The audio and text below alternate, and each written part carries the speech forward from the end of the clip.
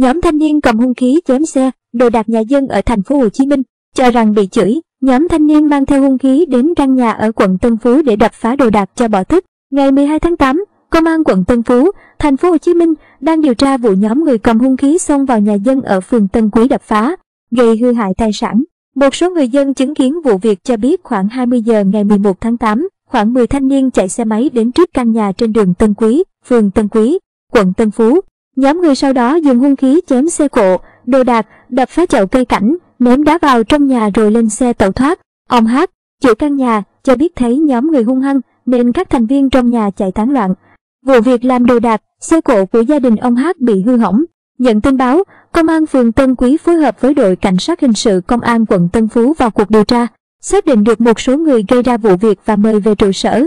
Bước đầu, các thanh niên khai bị một thành viên trong gia đình ông Hát chửi nên đập phá cho bỏ thức.